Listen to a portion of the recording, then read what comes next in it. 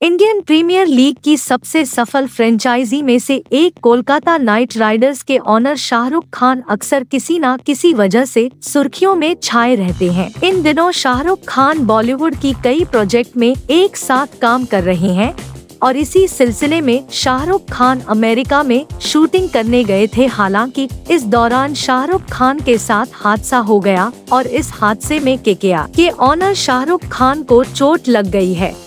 बॉलीवुड के सबसे अमीर एक्टर और IPL franchisee Kolkata Knight Riders के कप्तान शाहरुख खान इस समय कई प्रोजेक्ट पर काम कर रहे हैं और इसी वजह से वो शूटिंग के लिए अमेरिका गए हुए हैं। हालाँकि उनके फैंस के लिए बुरी खबर ये है कि शूटिंग के दौरान शाहरुख खान एक हादसे के शिकार हो गए और इस हादसे में शाहरुख खान के नाक में चोट लग गई है। मिली जानकारी के अनुसार इस हादसे के बाद से शाहरुख खान को अस्पताल में भर्ती करा दिया गया है। सूत्रों की माने तो शाहरुख खान खतरे से बाहर है। वहीं उनके टीम का हिस्सा रह चुके रिंकू सिंह ने भी यहाँ पर शाहरुख खान के लिए अपना बयान जारी करते हुए काफ़ी ज़्यादा अफसोस ज़ाहिर किया। उन्होंने कहा कि वह मेरे पिता के समान है, उन्होंने मुझे आईपीएल के दौरान बेटे का दर्जा दिया था और आज जब वह मुसीबत में है तो मैं उनसे मिलने नहीं जा पा रहा हूँ। यह मेरे लिए बेहद दुख की बात है,